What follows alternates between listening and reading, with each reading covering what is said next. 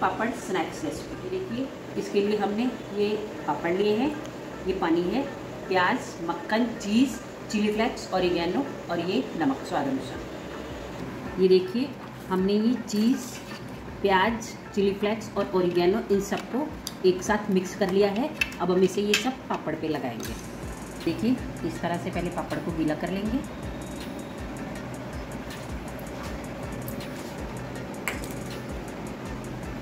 ये मक्खन को हम हाथ से अच्छे से लगाएँगे, जिससे ये अच्छे से लग जाए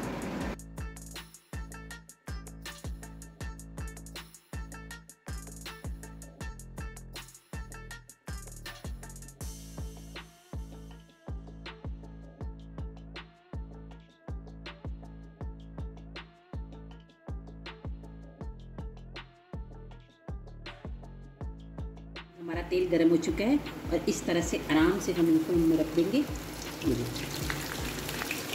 और लो टू मीडियम गैस पे हम इन्हें फ्राई करेंगे। ये देखिए, हमारी क्रिस्पी पापड़ बनकर के तैयार है। इजी स्नैक्स ये देखिए। शायद आपको आवाज़ आ रही होगी। ये देखिए।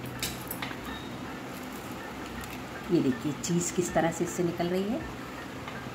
आप भी इसे घर में ट्राई करिए और मज़े से खाएँ और खिलाएँ। ये थी हमारी आज की रेसिपी।